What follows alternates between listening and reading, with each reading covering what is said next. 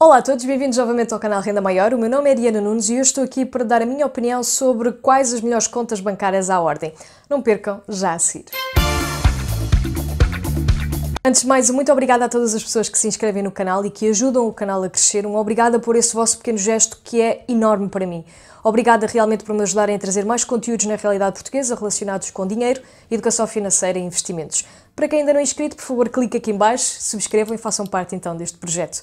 Hoje vou falar então aqui, numa opinião pessoal relativamente às contas bancárias à ordem existentes em Portugal, quais serão as melhores opções. Decidi assim então apresentar algumas soluções que após uma análise consegui identificar que poderiam ser interessantes para pensarem sobre as mesmas. Assim sendo, já sabem, devem sempre fazer a vossa análise e verem se realmente estas contas vão ser aquelas que vos interessam no vosso estilo de vida e, claro, nos vossos rendimentos. Salvo certas exceções em que vale a pena sentarmos com o nosso gestor de conta e falarmos sobre as comissões bancárias, tendo em conta que temos alguns produtos naquele banco ou realmente fizemos um empréstimo ou temos um cartão de crédito que tenha realmente uma anuidade elevada, existem certas situações que nem sequer vale a pena falar com o gestor do banco porque à partida a resposta vai ser negativa. Claro que se conseguirem no vosso banco tradicional, onde vocês já estão familiarizados com os produtos, conseguir as comissões totalmente gratuitas, é uma mais-valia e vale sempre a pena falar com o gestor do banco. Se não conseguirem, de facto, surgem aqui algumas opções que podem começar a considerar. Partida todas as contas que cobram comissões para a manutenção da conta ou anuidade em relação aos cartões, seja de débito ou de crédito, são contas que nós devemos sempre pensar se vale a pena termos na nossa vida, isto é, se temos realmente a necessidade de pagar estes custos. Assim sendo, eu estive aqui a analisar algumas contas que são gratuitas, outras que são parcialmente gratuitas e outras que podem até compensar no estilo de vida que nós temos. E vamos então agora passar aqui à breve análise. Assim, dividi em três categorias: bancos em que as contas são gratuitas, mas os cartões não são, bancos em que as contas e cartões são totalmente gratuitos e outros bancos que têm produtos financeiros interessantes. Eu vou aqui então explicar a primeira categoria. A primeira categoria então são bancos que têm as contas gratuitas, mas os cartões, a anuidade desses cartões é paga. E por isso mesmo não será o melhor para usarem numa conta à ordem, que será de gestão de dia a dia, mas sim para poderem realmente começar a colocar lá o vosso dinheiro e como são bancos de investimento, eu falo então das opções do Banco Big, do Banco Best e do Banco Invest, para poderem começar a fazer uma conta à ordem, colocam lá o vosso dinheiro fora da vossa conta à ordem que vocês tenham noutro banco e depois constituem um depósito a prazo, aproveitando assim as melhores alternativas no mercado nesses depósitos a prazo. Assim sendo, estas contas não serão como tal as melhores para a conta à ordem, mas podem-nas criar, podem-nas ter para este efeito e utilizá-las depois para um depósito a prazo no futuro. Contas à ordem, então, para movimentar o dinheiro do dia a dia. Em primeiro lugar, vou fazer logo a ressalva ao Banco Atlântico. O Banco Atlântico, neste momento, apresenta uma conta à ordem onde vocês podem realmente ter tudo gratuito, tanto a conta como o cartão. A única situação é que realmente o cartão, após um ano de anuidade gratuita, digamos assim, começa a ser cobrado com um valor de 15 euros anuais, salvo se vocês durante o ano inteiro passado tiverem gasto 2 mil euros. Aí sim, o cartão já é de oferta e ficam com a conta totalmente gratuita. É um banco dedicado aqui à era digital e, portanto, está-se a afirmar no mercado português. Considero realmente que se usarem 2 mil euros por ano de pagamentos, digamos assim, conseguem então ter a conta totalmente gratuita e pode ser então uma opção a considerar. Outros bancos gratuitos que temos então no mercado será o Ativo Bank, Inclusive, não só oferece as comissões da conta, como também a anuidade dos cartões.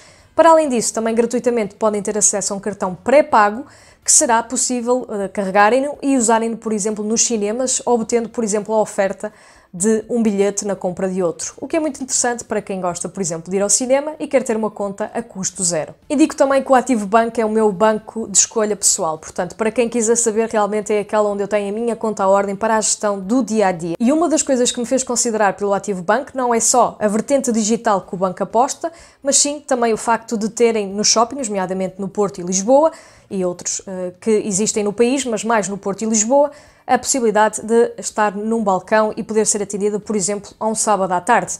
Isso de facto pode fazer toda a diferença para quem tem horários apertados durante a semana. Por outro lado, não de uma forma tão digital, mas num sentido de ser mais tradicional, mais perto da população, principalmente dos mais idosos, aqueles que não têm tanto contacto com a tecnologia, temos então o Banco CTT onde não só têm também a oferta da comissão de manutenção da conta, como também da anuidade do cartão. Há pouco falei então que seriam três categorias. A primeira, para exemplificar, então, será uma conta à ordem gratuita para poderem pensar por exemplo, na constituição de uma reserva de emergência ou do depósito a prazo, nomeadamente os bancos de investimentos.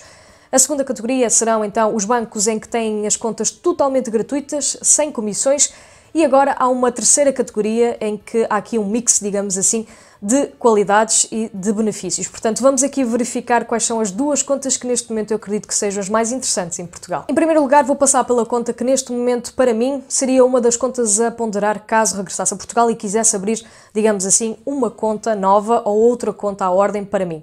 Portanto, seria neste caso o Banco Nacional de Investimentos, o Banco BNI Europa, e este banco de facto oferece a possibilidade da conta ser totalmente gratuita, o cartão também ser totalmente gratuito e ainda é remunerada se vocês tiverem lá pelo menos 1000 euros. O que significa que se eu tiver um saldo de 1000 euros na minha conta, eu vou receber 1% da TANB por ano, o que significa, neste caso, que o juro é mensalmente, mas tem que lá ter sempre mil euros. Como se tivesse um depósito a prazo, mas na realidade é uma conta à ordem onde eu posso movimentar.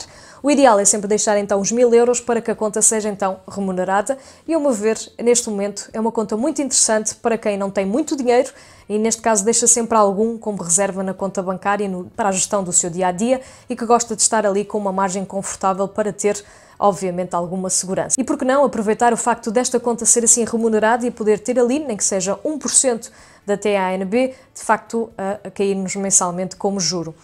Obviamente que não é um valor muito elevado, não será o melhor investimento a ser feito, mas existem depósitos a prazo que não pagam tanto. Por último, a conta que eu considero talvez a mais vantajosa, mas que não serve a todos os portugueses, será a conta do Banco Inter mais ordenado. E como é que funciona então esta conta?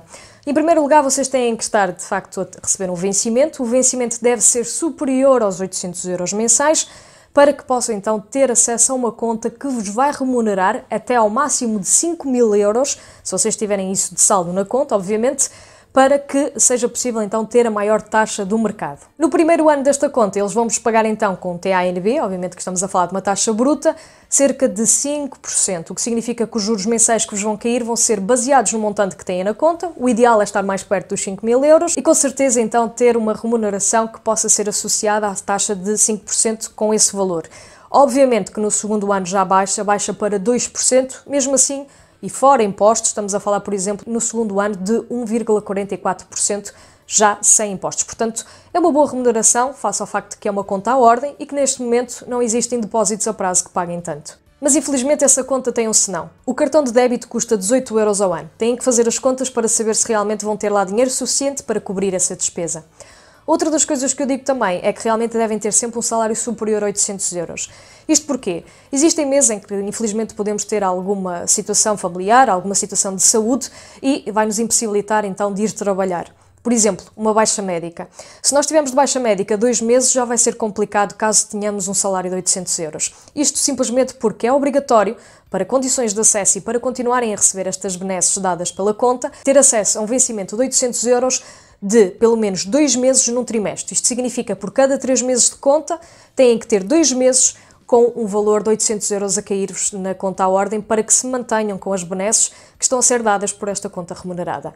O que significa, se vocês tiverem, por exemplo, dois meses de baixa ou três meses de baixa, vocês vão perder então os juros que podem surgir futuramente, deixar de ter assim as condições reunidas para obterem o melhor desta conta bancária. Todas as contas mencionadas estão abrangidas pelo Fundo de Garantia e Depósitos, o que significa que estão protegidos 100 mil euros por pessoa e por instituição de crédito. Por fim, devo indicar que não sou conselheira financeira, expert ou guru dos investimentos. Sou sim alguém que partilha um pouco da sua opinião, da sua experiência e aquilo que vai fazendo com o seu dinheiro. Se gostaram deste vídeo, por favor, deixem ficar o vosso like. Eu espero-vos no próximo.